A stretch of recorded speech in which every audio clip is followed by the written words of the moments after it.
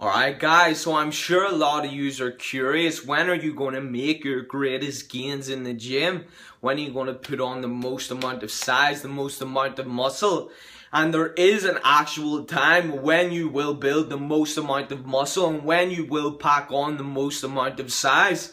Your most mass gaining time, the most mass gaining time you'll ever go through and the season will be is whenever you go from a cut, whenever you've been at your lowest body fat ever, when you go from a, a cut back into your bulk and you go from doing that style of training to this whole new style of training, whenever you go from that transition, just this small tiny line where you go from cut, completely shredded competition lean, when you go from that cut to that bulk straight after, in those few weeks that you go from a cut to a bulk, you will make your greatest gains. And that's why if you go from a cut and you you go to a competition or whatever, you don't want to be taking a few weeks off the gym. You want to go straight from your cut back into your bulk, but most importantly, get back into your training.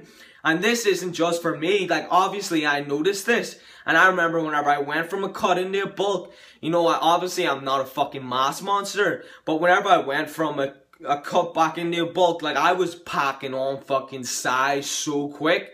Now obviously a lot of it's going to be glycogen pumping back into muscle. Some of it's going to be fat. But for the most part I have put on a lot of muscle. And people were saying to me like are you on fucking steroids?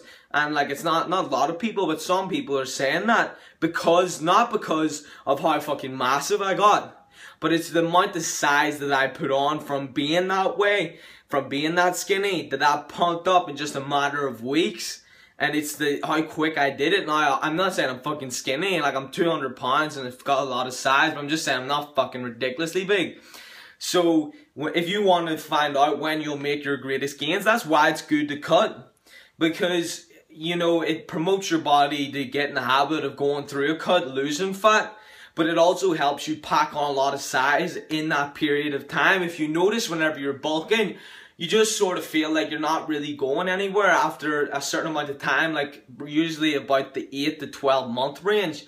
You know, whenever you're first into your bulk, like the first three months, you feel like a fucking beast. Everything's going up, strength's going up, everything's just bump, bump, bump, bump, bump. But you'll notice after you've went for a long time into your bulk, everything sort of feels like it's slowing down. And I think that's a great time to cut and it's a great time to change up what you're doing. And then whenever you get shredded and you go from that cut back into that bulk, that's when you put on the most amount of size. And a lot of pros have said that. I remember hearing Dorian Yates say it, and I know this for myself, and you will see it with people who are on YouTube. If you see some of them who go from a cut back into a bulk, they will put on an amazing amount of size, and that's whenever you put on the most amount of size.